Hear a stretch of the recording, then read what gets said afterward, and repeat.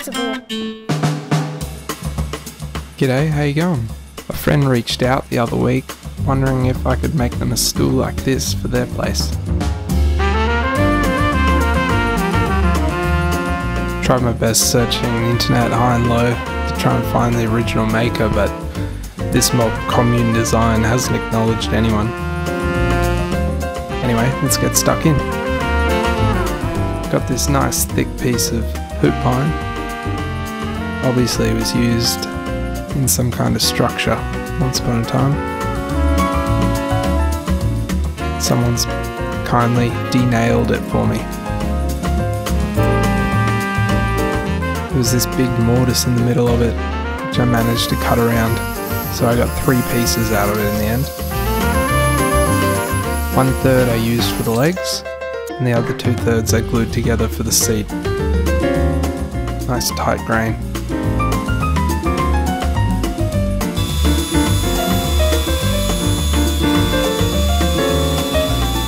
Running these over the jointer just to get a good gluing face for the seat.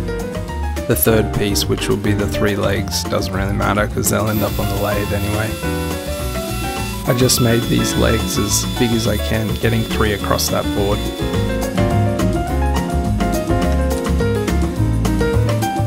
Gluing up that seat base, I got a pretty good finish on the jointer, so there's no need for dominoes or anything. Be plenty strong enough. Here I'm just cleaning up that glue and marks from the thicknesser. This took me a while to mark out. I had the photo to go off, but only from one angle. I was trying to find something in the workshop I could use, and I had that old oil drain container. But in the end, ended up just making this little jig to create a circle. This shape just looked a bit better. I had to put a nail in there, but what's one more nail hole? Can see there's two holes there, anchor points. The distance between those two nail holes are the distance between your two final lines. Sometimes drawing out the wrong design helps you get to the right one in the end. Just marking out the locations for the three legs 60 degrees apart. You can take the time to set this up in your drill press if you want to get the right angle, but this time I just felt a bit cocky and went for it. Just use your bevel to try and match that angle with the, with the drill. As you can probably tell, I don't have much experience in chair making, so maybe watch this video with a big old grain of salt. In all seriousness though, if you are interested, there's a book called The Chairmaker's Notebook by Peter Galbert. It's fantastic, and I only made it a third of the way through, and look at me go. feel like I got my order of operations a little bit wrong with this. Probably would carve out the seat base first before cutting out the shape next time, just so you've got a bit extra meat to clamp it to the bench. I probably should have finished that book.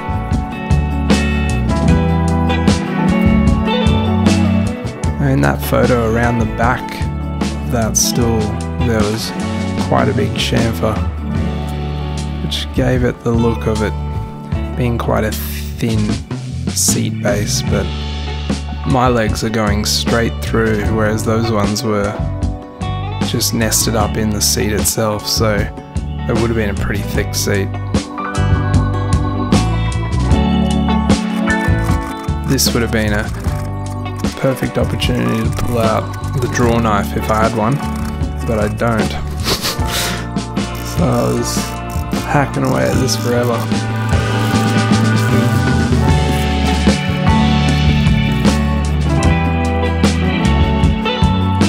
Kept putting a little chamfer on the end there so that when I was taking away material it wasn't just chipping out on that front face.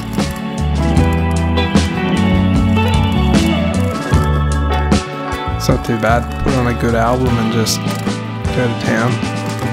It's quite enjoyable.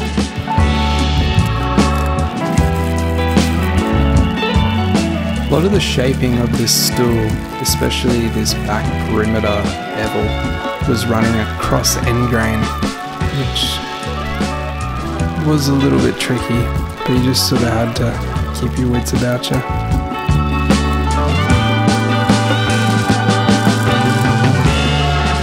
That seat is obviously two bits of timber glued together, so you just have to keep track of which way grain's going.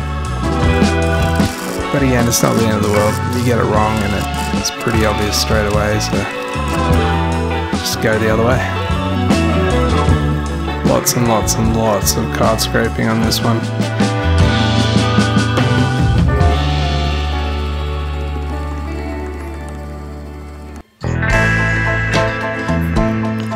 Just needed to go back and sort of finesse that to get a straight, straight edge.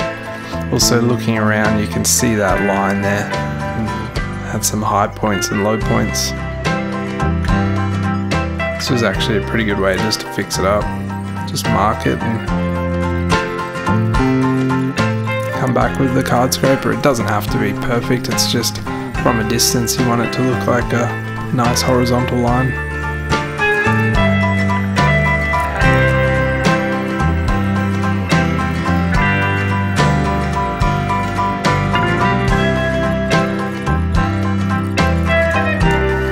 Just drill in some guide holes there so I know when to stop, essentially. So I'm carving out this seat. I don't want to go deeper than those drill holes. This is the first time I got to use this new tool of mine, the Travisher. There's a bit of a steep learning curve with these, but such is life. This old piece of hoop pine's got a few nail holes in it, so it was good to carve down and watch some of those battle scars just disappear. It's just a time consuming job, but lots of fun.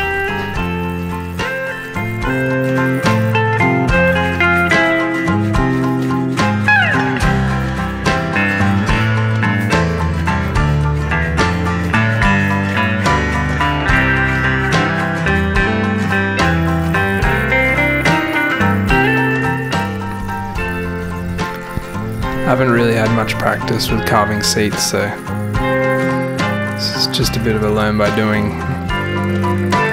You could use an adze or a scorp to do this as well.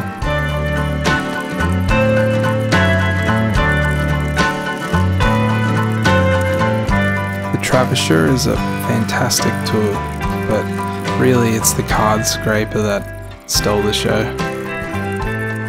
just so good at smoothing things out.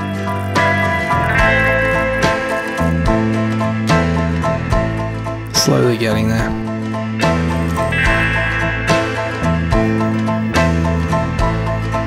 I think the main thing here is you want your bum cheek grooves to be even left and right. Oh, so that's the technical term. You also want to keep that perimeter line running around the back quite sharp I feel like this helps frame the seat and really emphasizes that groove you've made.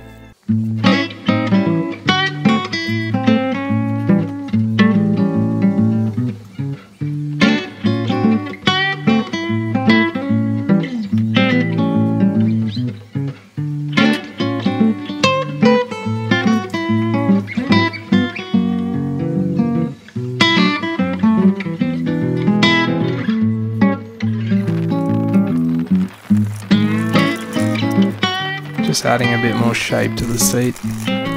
Just remove that section. Again, a draw knife would have been great here. That's okay, I've got time.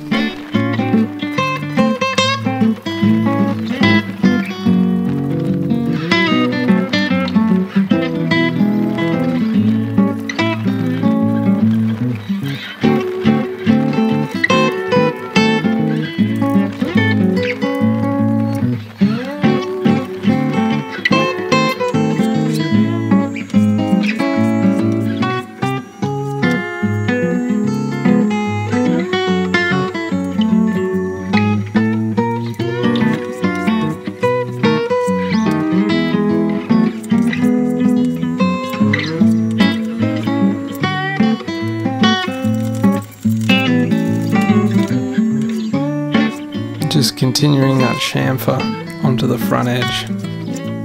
seat's slowly starting to take shape.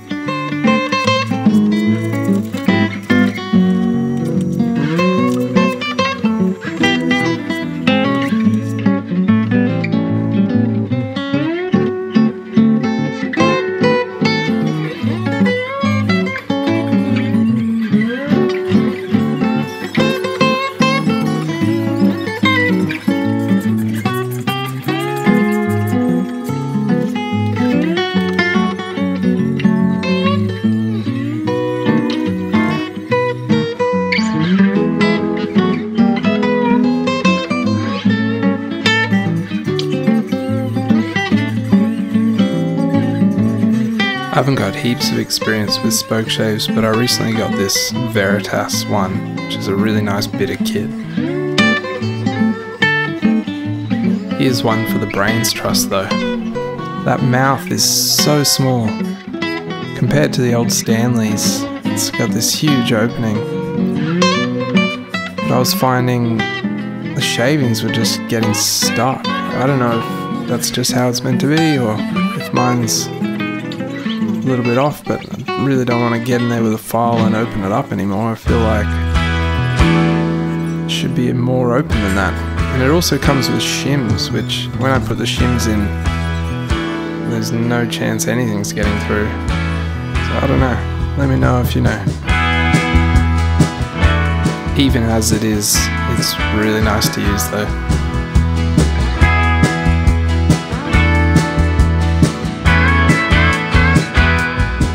Back to it. So here we've got the legs cut out. And they're ready to go on the lathe.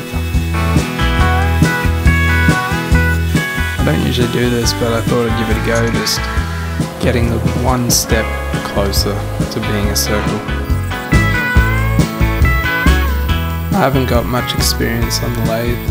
I've just watched a few YouTube videos trying to learn how to not kill myself. My main focus here was just trying to get the same diameter across these legs. High on my list of things to do is to be a bit more efficient with sharpening those garbage chisels. I think it would pay dividends.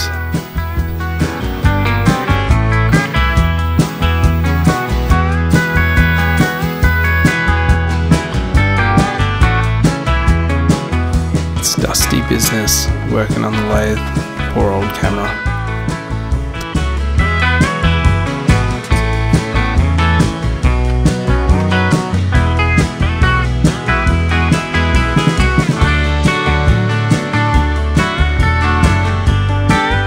I don't know if this technique is commonly used or incredibly frowned upon.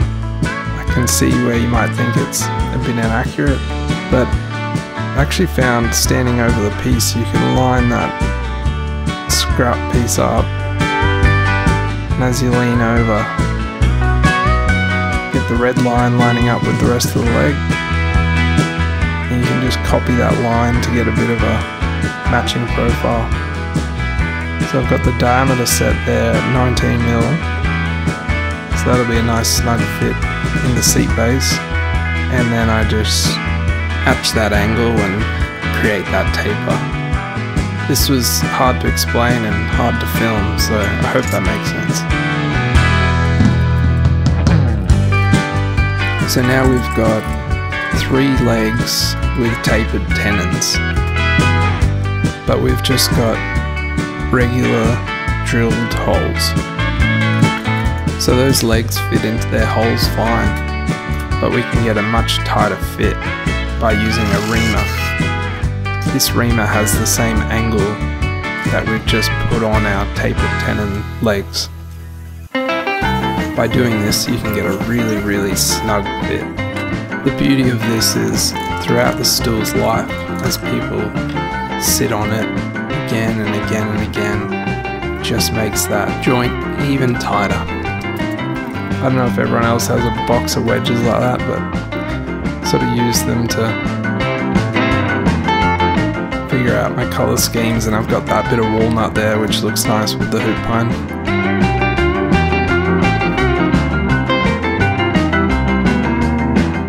This little jig, you just have a cutout just for making wedges on the bandsaw. First time sort of using it, it, it works well. Trick with these is just to make sure that the grain's running the length of the piece, not, not across, so it won't be strong enough. I just pop these in the vise and use a block plane to get them down to the right dimension. Cutting the slot, you can do that with a handsaw or just on the bandsaw. Glue it up.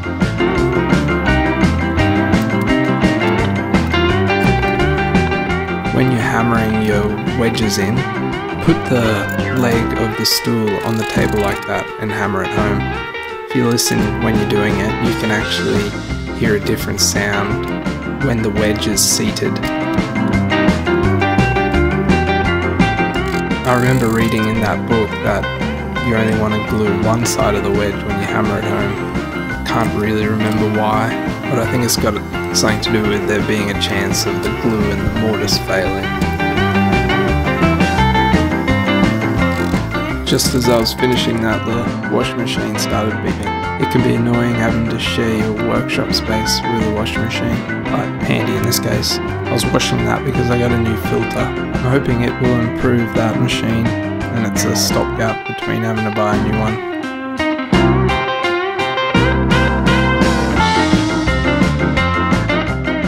Go, all glued up. Now that's dried with just flush cut saw. Trim away those excess bits.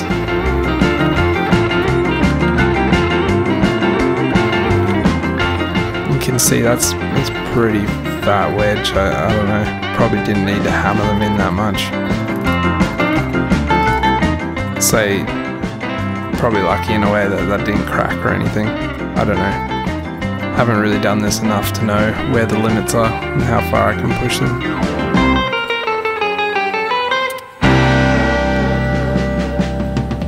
So this stool had to be 500 mil tall, so I'm just using some scrap blocks there on a flat surface just to make sure it's level. And just luckily the bottom of those legs all had nail holes in them so trim those off. There you go at this point I actually thought I was pretty close to being finished um, always put a chamfer on the bottom of course using that new spoke spokeshave which was lovely usually I just use a chisel but little spoke spokeshave works nice. Yeah, I thought I was done here and then I realized that that stool's got supports. so back onto the lathe. I don't know why it's got two and not three or it's not in a T formation. It must just be a style choice.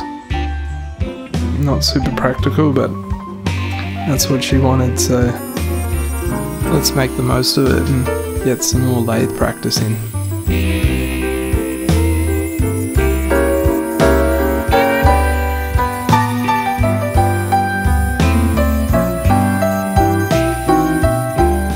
Mostly the same process as the legs, just trying to get the same diameter all the way across the length.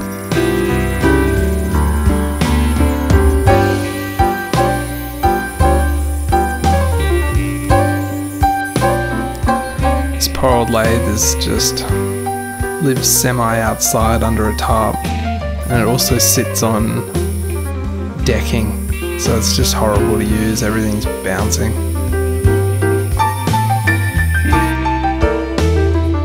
now because I thought I didn't need to do these I'd glued everything together so I now had to freehand drill through these legs for the supports. There wasn't enough room between the legs to slide that support in, so they had to be through all the way.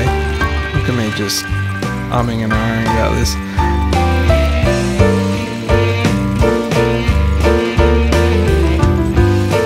There wasn't enough room had to drill from the outside in. I was worried about blowout, so I carved out the profile of a leg into this piece of scrap and hoped that I could hold that onto the back side of the leg to compress those fibers so it wasn't going to blow out.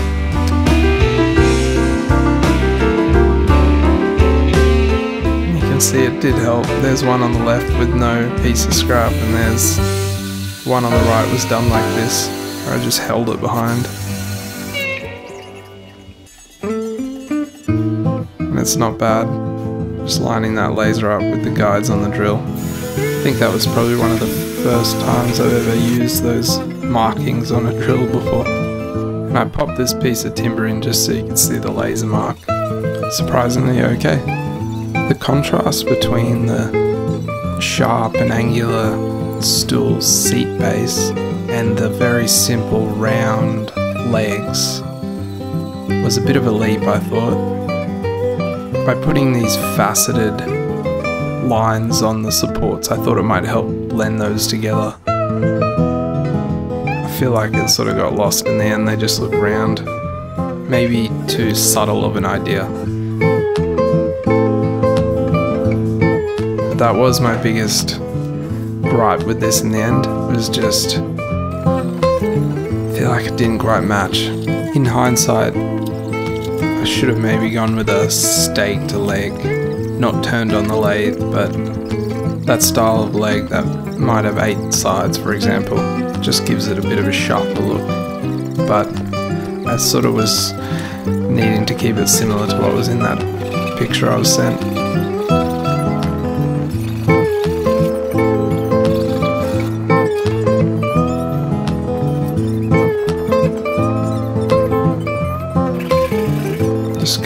Slot for the, the wedge.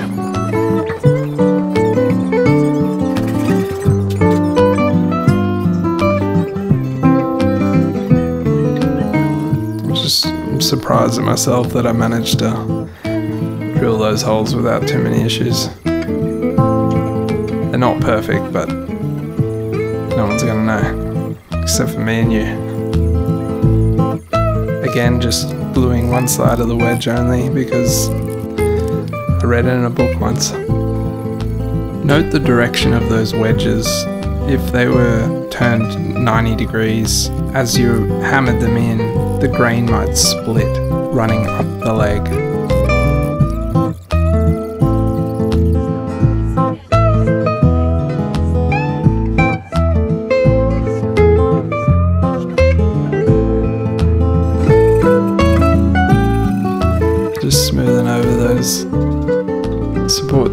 Through. I was pretty happy with that in the end. Really was a bit worried.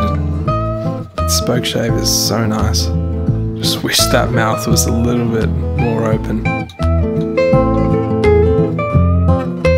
But I'll probably get used to it. I'm just used to that Stanley 151 or whatever it is. Nice. There we go. Now I'm done. Bloody shavings everywhere. I actually went back and attacked that top even more. I just thought it needed more cut out of it. Saved you guys having to sit through watching that. So that front edge now doesn't have a straight line at the top. It actually has scalloped out for your thighs. Uh, I quite like the look of that. I ended up using a little bit of filler in those nail holes on top. Just using some hard wax oil, probably did three coats in the end. There you go. Nice piece of scrap hoop pine which came up well. It's got a bit of character with the nail holes. Sometimes I feel like when you put in that much work you should use something a bit nicer but at least it got saved from being firewood. And I've got a real soft spot for hoop pine anyway. It's a beautiful timber and it's native to the area. I think one of the main takeaway lessons with this stool was to not dismiss design choices because you see them as not being practical. I initially wrote off the idea of those supports. Why is there two and not three? But in the end, it's one of my favourite features. And there it is, since being packed into a box and sent 2,000 clicks down to Hobart. The next time I'm down there, I look forward to putting my bum cheeks in those bum cheek grooves. Thanks for watching.